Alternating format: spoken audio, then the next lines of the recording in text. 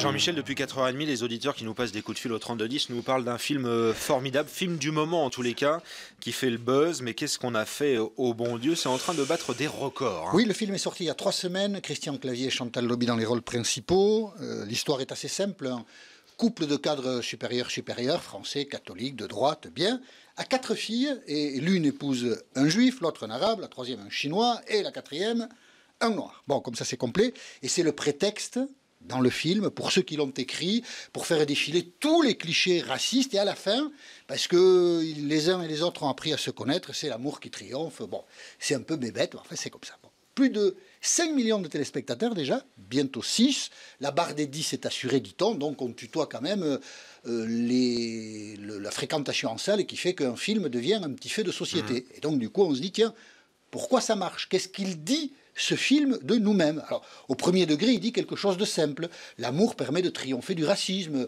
Les gens qu'on ne connaît pas, on ne les aime pas, mais quand on les connaît, on les aime. Vous voyez le genre, donc ça c'est assez facile. Mais le film dit aussi autre chose. Il dit quelque chose euh, qui est assez juste, c'est la saturation d'un vieux pays qui, depuis 40 ans, a vu arriver des populations à la fois nombreuses et très diverses, de cultures, de traditions diverses chinois, juifs, arabes, catholiques. C'est vrai que quand on concentre tout ça sur un territoire et qui n'est quand même pas euh, immense, euh, ça fait beaucoup de frottements, beaucoup de tensions, beaucoup d'incompréhension. Et il faut du temps pour digérer cette réalité sociale. C'est ça, le, sans doute, le, le- le propos le plus intéressant du film. Il faut du temps pour euh, que les uns et les autres apprennent à s'aimer. Et ce que dit le film, c'est que, au fond, dans la société française, cette famille étant une représentation de la société française, au, fond, la digestion est en train de se faire.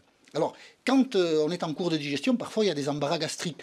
On le voit sur le champ politique. On voit dans les intentions de vote que les embarras gastriques, ça fait des remontées et des brûlures et qui sont parfois, parfois difficiles. Et on ne peut pas nier tout ça. Mais ça se fait. Donc ça veut dire, c'est ça qui est très rare dans le cinéma français sûrement, mais dans la société française plus généralement. Ce film est optimiste. Il dit, il faut du temps, mais à la fin, l'amour triomphe. Alors, c'est cucu la praline. Mais en France, on ne se le dit jamais.